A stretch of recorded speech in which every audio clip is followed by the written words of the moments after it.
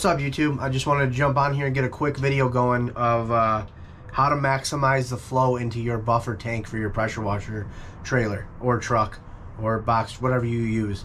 Um, I'm using a 275 gallon IBC tote for my buffer tank for my 8 gallon a minute machine.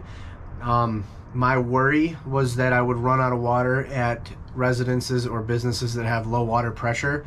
So I've been trying to think of every way to maximize the amount of water flow into the tank. That way it's refilling quicker. Um, I bought some three quarter inch Flexzilla uh, supply line for the tank. Um, I did not plumb my reel into the trailer because the manifold inside the reels that I bought are a half inch so I figured that that was going to slow down that water flow and I don't want any anything to slow it down. I want as much water flowing into this tank as possible. So most of the people on these uh, YouTube channels and most of these pressure washers that I know guys use uh, Hudson float valves which is what I used last year and those do work great but they also slow down the flow of water. Um, I did watch a video on YouTube. There's a guy showing how much slower they are um, but you do need a shut off valve. And I believe I was listening to uh, Jason Guyman podcast or one of his YouTubes where he mentioned a Jobe high flow water shut off. Phone's ringing.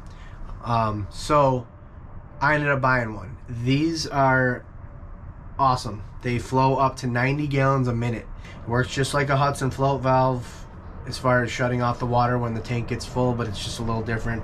Rather than it lifting up inside it's external and it just lifts up this this ball floats and shuts off the water when your tank's full.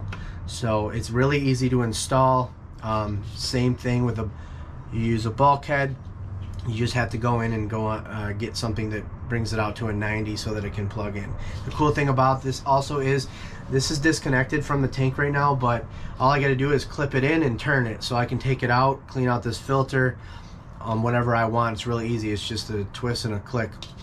Uh, you can also put these in on the side of the tank, but I found it easier to do it the way I did it because it was closer to the hole and I could reach it.